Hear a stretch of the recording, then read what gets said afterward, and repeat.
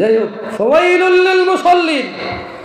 সুতরাং পরিতাপ ওই নামাজ আদায়কারীর জন্যও। আল্লাযীনা হুম আন সালাতিহিম সাহুন।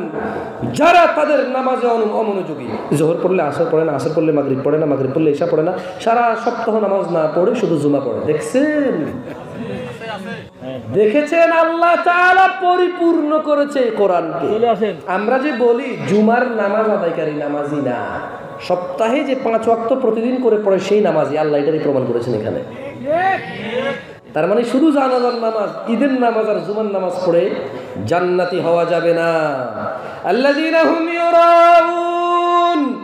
ওই নামাজি লোকটাও জাহান্নামে যাবে যারা মানুষকে দেখানোর জন্য নামাজ পড়ে। দেখেছেন? এই শুধু আ- আরাইতাল্লাযী এই সূরাটা পড়লে আপনি এত কিছু জানলেন। আচ্ছা দান আল্লাহকুমুত তাকাসুর এই সূরাটা কারা কারা শুনছেন? হাত তোলেন একটু। আমি বক্তব্য শেষ করে দেবো। ছোট্ট একটা সুরা দেখেন কোরআন কারিম পড়লে কত নলেজ আসে। আল্লাহ তাআলা কত বাস্তবমুখী কথা বলেছে, দেখেন। আল্লাহ প্রাচুর্যের প্রতিযোগিতা তোমাদেরকে মহাচ্ছন্ন করে রাখে। হাত্তা জুরতুমুল মাকাবের।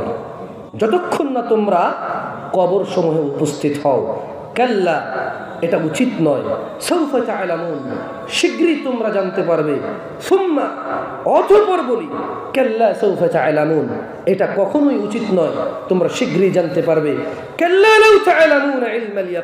সাবধান! তোমাদের নিশ্চিত জ্ঞান থাকলে অবশ্যই তোমরা প্রাচুর্যের প্রতিযোগিতায় অন্ধ হতা না তোমরা। জাহিম, তোমরা যারা টাকা পয়সা ধন সম্পদের জন্য নিজেকে অন্ধ মহাচ্ছন্ন করে রেখেছ, অচিরেই তোমরা জাহান্নামকে দেখবে। আল্লাহ বলছে, আবারও বলি, তোমরা তো ওটাকে দেখবেই দেখবে।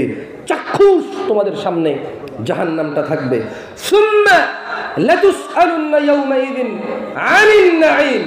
অতঃপর অবশ্যই তোমাদের যে সুখ ও সম্পদ আল্লাহ দিয়েছে সেটা সম্পর্কে সেটা সম্পর্কে জিজ্ঞেস করবে।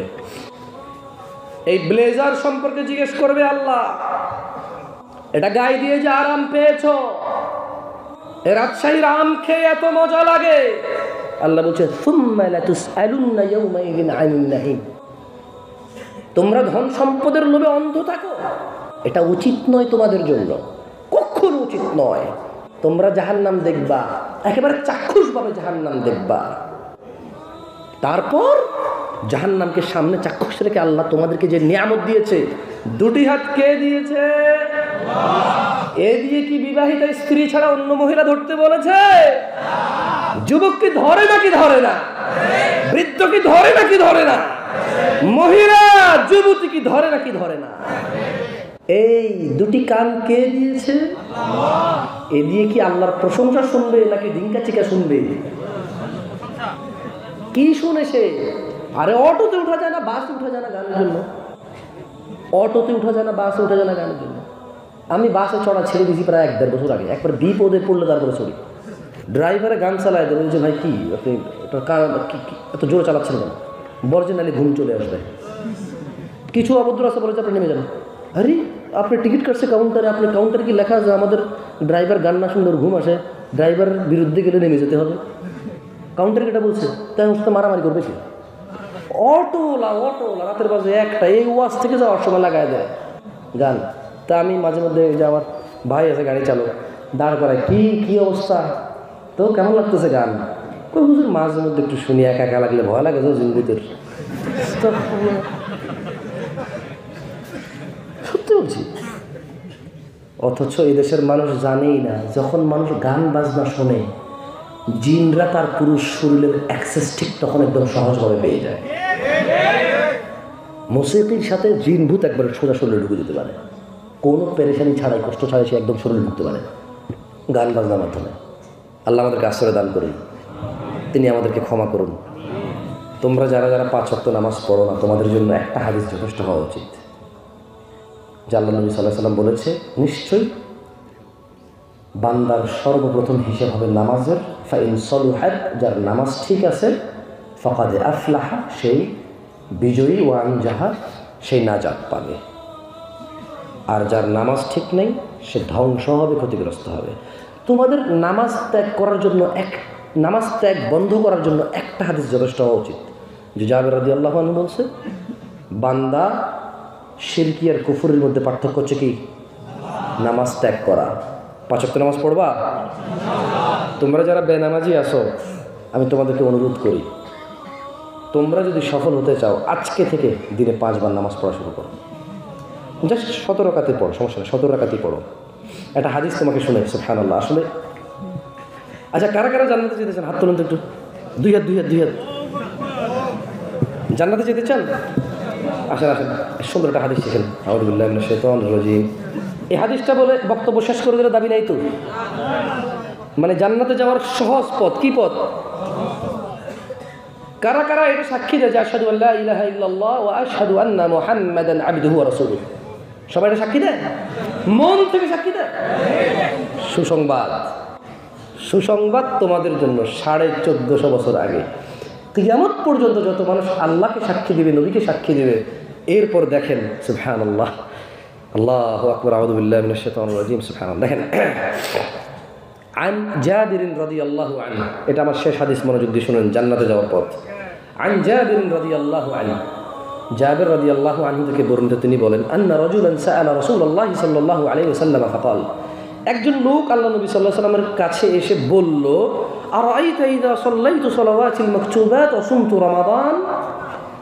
সে বলল যে, আমি যদি ফরজ নামাজ সমূহ ফরজ কি? ফরজ কি? সে বলল যে, আমি যদি ফরজ নামাজ সমূহ আদায় করি এবং রমজান মাস আসলে যদি রোজা রাখি ও আহলালতুল হালাল, আল্লাহ যা হালাল বলেছে ও হারামতুল হারাম, আল্লাহ আল্লাহ নবী যা হারাম করেছে, এগুলো যদি মেনে চলি। ওয়ালাম আজিদ আলা শাইআ যদি আমি শুধু দিনে পাঁচ ওয়াক্ত ফরজ নামাজগুলো পড়ি, বছর শেষে একবার রোজা আসলে রোজা রাখি, আর আল্লাহ যেটাকে হারাম বলছে, আল্লাহ যেটাকে হালাল বলছে, এগুলো আমি হালাল হারাম মেনে চলি। আর এগুলো মেনে চলার পরে আমি বাড়তি ইবাদত।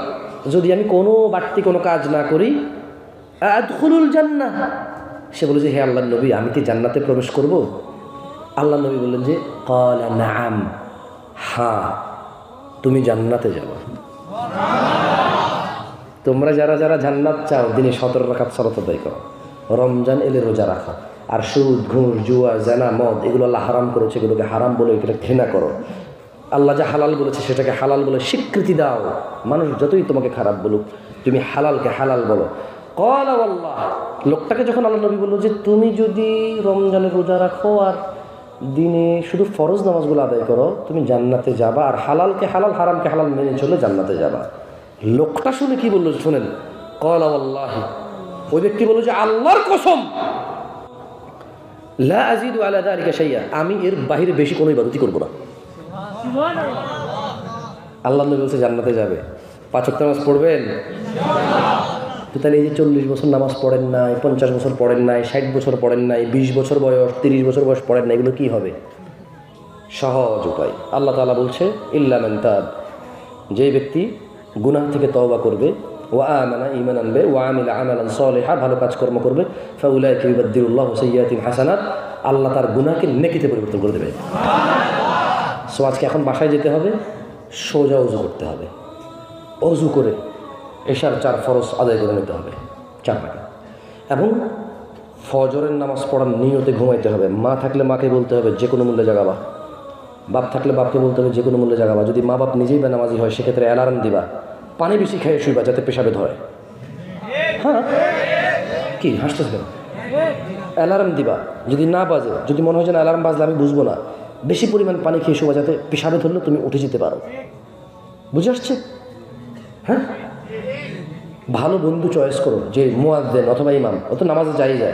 বলব যে যাওয়ার সময় তো আমার ঘরে নখ দিয়ে যাই পারবা ইনশাল্লাহ আল্লাহ তোমাদের এবং আমার গুণাগুলো ক্ষমা করুন।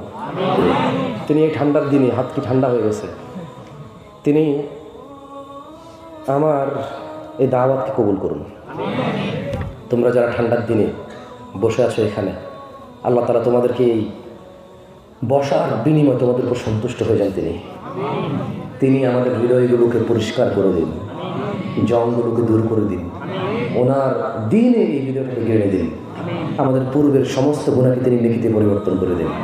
এবং আমরা ওনার সামনে আত্মসমর্পণ করি উনি সেটা গ্রহণ করুক, কবুল করুন ওয়াফর দাওয়ান আলহামদুলিল্লাহ রবিল আলমিন। আসসালামু আলাইকুম রহমতুল্লাহ